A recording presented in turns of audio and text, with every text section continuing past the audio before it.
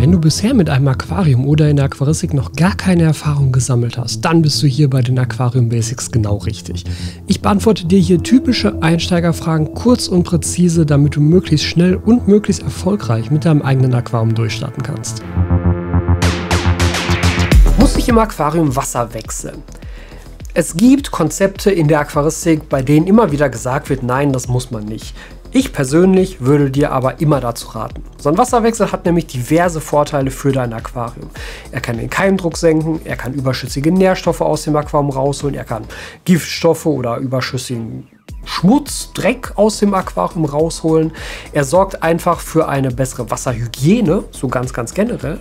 Und er kann tatsächlich auch bestimmte Werte in deinem Aquarium wieder auf ein normales Niveau bringen, wieder anpassen und insgesamt einfach sehr, sehr für Hygiene und Sauberkeit sorgen. So ein Wasserwechsel ist wirklich, wirklich sinnvoll. Und ganz häufig ist ein Wasserwechsel auch das ultimative Werkzeug, um Probleme vorzubeugen. Wenn du Probleme mit deinem Aquarium hast, die erste Antwort wird immer sein, ah, hast du den letzten Wasserwechsel gemacht. Mach, mach mal zwei, drei Wasserwechsel und dann gucken wir mal weiter. Das ist ungefähr so, wie du garantiert schon mal gehört hast, wenn du Probleme mit deinem PC hast, hast du ihn schon mal neu gestartet. Genau das gleiche ist ein Wasserwechsel fürs Aquarium. Das ist wie eine Art Neustart und ganz häufig können damit ganz viele Probleme beseitigt werden. Ich persönlich würde dir immer empfehlen, in einem Süßwasseraquarium alle ein bis zwei Wochen einen Wasserwechsel zu machen. Ich selber mache jede Woche Wasserwechsel und zwar jede Woche 50 Prozent. Das heißt, jede Woche nehme ich die Hälfte des Wassers aus dem Aquarium raus und fülle sie mit Frischwasser auf. Das kann entweder Leitungswasser sein oder aufbereitetes Osmosewasser, je nachdem, um was für ein konkretes Aquarium es sich handelt. Aber einmal die Woche einen 50 Prozent prozentiger Wasserwechsel ist ganz generell eine sehr gute Idee.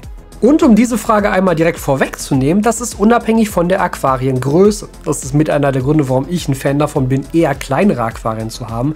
Denn bei einem 60 Liter Aquarium kann ich schnell mal 30 Liter rausnehmen und 30 Liter wieder auffüllen.